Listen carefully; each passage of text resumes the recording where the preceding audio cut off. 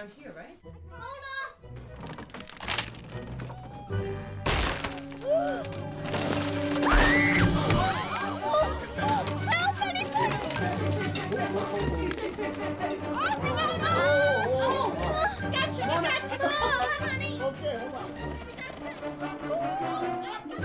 We saw your underpants.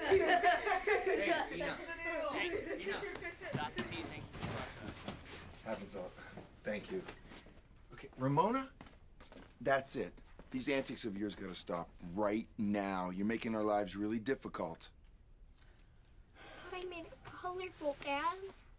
Not in the middle of our open house. Come on. You said you're gonna be more responsible. It's time to grow up.